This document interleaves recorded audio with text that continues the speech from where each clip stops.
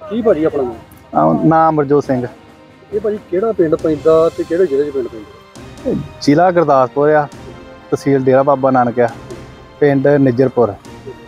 ਇਹ ਭਾਜੀ ਜਿਹੜਾ ਪਾਣੀ ਆਇਆ ਵਾ ਇਹ ਤੁਹਾਨੂੰ ਕਿਵੇਂ ਪਤਾ ਲੱਗਾ ਤੇ ਕਦੋਂ ਦਾ ਇੱਥੇ ਆਇਆ ਪਾਣੀ ਇਹ ਪੁਰਾਣੀ ਸਵੇਰੇ ਸਵਸਤੇ ਆਇਆ ਇਧਰੋਂ ਗੁਰਦੁਆਰਿਓਂ ਸਾਹਿਬ ਮੱਥਾ ਟੇਕ ਕੇ ਆਉਂਦੇ ਹਾਂ ਹਾਂਜੀ। ਤੇ ਇਧਰ ਸੈਲ ਕਰਨ ਜਦੋਂ ਆਉਂਦੇ ਆਪਾਂ ਰਾਹ 'ਚ ਵੇਖਿਆ ਇਧਰ ਕੁੱਤੇ ਪਏ ਉਹਨੂੰ। ਹਾਂਜੀ। ਤੇ ਕੁੱਤਿਆਂ ਨਾਲ ਵਾਵਾ ਚਿਰ ਲੜਿਆ ਤੇ ਇਹ ਉਹ ਕਿੰਨਾ ਕਿੰਨੇ ਤੋਂ ਕਿੱਦਾਂ ਟਾਈਮ ਹੈ? 6 ਵਜੇ ਦਾ ਟਾਈਮ ਹੈ ਹਾਂਜੀ। 6 ਸਵਾ 6 ਵਜੇ। ਤੇ ਕੁੱਤਿਆਂ ਨਾਲ ਵਾਵਾ ਚਿਰ ਲੜਦਾ ਰਿਹਾ। ਕੁੱਤੇ ਫਿਰ ਬਾਅਦ ਭੱਜ ਗਏ। ਤੇ ਇਹ ਇਹਦੇ ਚੜੀ ਝਾਣ ਕੇ ਵਿੱਚ ਵੜ ਗਿਆ ਹੈ ਹਾਂਜੀ। ਇਹ ਮਤਲਬ ਜਿਹੜਾ ਜਾਨਵਰ ਹੈ ਇਹ ਪਹਿਲਾਂ ਵੀ ਵੇਖਿਆ ਗਿਆ ਕਦੇ ਕਿ ਜਾਂ ਮਤਲਬ ਇਹ ਅੱਜ ਹੀ ਵੇਖਿਆ? ਨਹੀਂ ਸਾਲ ਪਹਿਲਾਂ ਇਹ ਸਾਡੀ ਖੂਹੀ ਆ ਉੱਥੇ ਬੰਬੀ ਤੇ ਉੱਥੇ ਵੀ ਇਹ ਇੱਕ ਨਿਕਲਿਆ ਸੀ ਉੱਥੇ ਵੀ ਹਾਂਜੀ।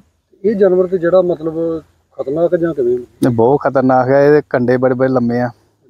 ਇਹ ਇਹ ਜੇ ਕੁੱਤਿਆਂ ਨੂੰ ਜਿੱਦਾਂ ਮਾਰ ਸਕਦਾ ਇਹ ਤੇ ਬੰਦੇ ਨੂੰ ਤੇ ਜੇ ਲੱਗ ਜੇ ਤੇ ਨੁਕਸਾਨ ਕਰ ਸਕਦਾ।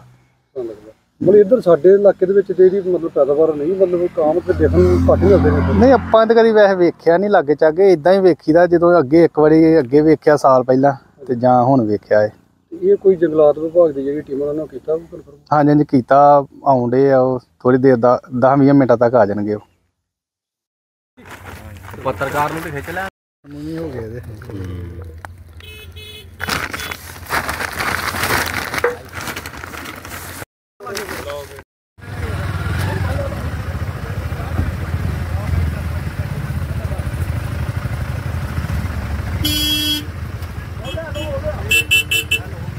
ਸਤਿ ਸ਼੍ਰੀ ਅਕਾਲ ਜੀ। ਇਹ ਭਾਈ ਕੀ ਆਪਣਾ? ਨਾਮ? ਨਵਨੀਤ ਕੁਮਾਰ ਜੀ। ਕੀ ਭਾਜੀ ਆਪਣੀ ਗੱਲ ਬੇਲਦਾਰ ਹਾਂ ਜੀ ਇਹ ਭਾਜੀ ਜਿਹੜਾ ਮਤਲਬ ਅੱਜ ਜਿਹੜਾ ਪ੍ਰਾਣੀ ਫੜਿਆ ਵਾ ਇਹ ਕਿਹੜੇ ਪਿੰਡ ਤੋਂ ਫੜਿਆ ਤੇ ਕਿਵੇਂ ਸਾਰੀ? ਇਹ ਨੇਜਰ ਪਿੰਡ ਤੋਂ ਸਰ ਫੜਿਆ ਵਾ। ਸਾਨੂੰ ਫੋਨ ਆਇਆ ਭਾਜੀ ਹੁਣਾਂ ਦਾ। ਤੇ ਅਮਰਜੋਤ ਸਿੰਘ ਹੁਣਾਂ ਦਾ ਵੀ ਇਹ ਇਦਾਂ ਦਾ ਖੇਤਾਂ ਵਿੱਚ ਹੈਗਾ। ਸੇਲ ਸੇਲ ਨਾਂ ਦਾ ਜਾਨਵਰ ਜੀ।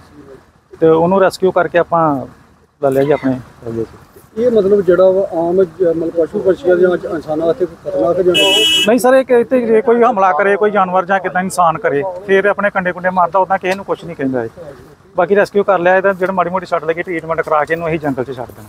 ਕਰਦੇ ਹਾਂਜੀ। ਇਦਾਂ ਦੇ ਭਾਈ ਜਿਹੜੇ ਜਾਨਵਰ ਆ ਇਹ ਮਤਲਬ ਕਾਫੀ ਮਤਲਬ ਆਉਂਦੇ ਨੇ ਕਿਵੇਂ ਹਾਂਜੀ ਹਾਂਜੀ ਕਾਫੀ ਸਿਆਲ ਦੇ ਵਿੱਚ ਪਿੰਡਾਂ ਦੇ ਵਿੱਚ ਕਾਫੀ ਆਉਂਦੇ ਨੇ।